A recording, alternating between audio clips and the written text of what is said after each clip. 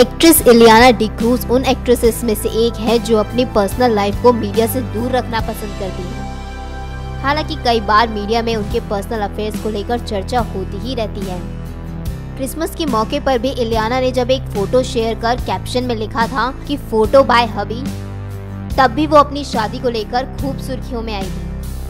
जिस फ़ोटो के बाद ये साफ़ हो गया था कि इलियाना ने अपने बॉयफ्रेंड एंड्रयू निबोन के साथ शादी कर ली है। लेकिन अब वहीं एक और गुड न्यूज़ है। जी हाँ अब खबर आ रही है कि इलियाना प्रेग्नेंट है और वो जल्द ही माँ बनने वाली है। दरअसल फ़िल्म रेड के दौरान वो कई बार लूज ड्रेसेस में स्पॉट हुई।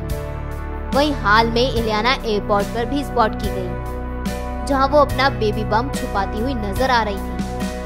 अब इलियाना का फिटेड ड्रेस ना पहनना और एयरपोर्ट पर बेबी बम छुपाना इसी बात की तरफ़ इशारा करता है कि इलियाना इन दिनों प्रेग्नेंट चल रही है।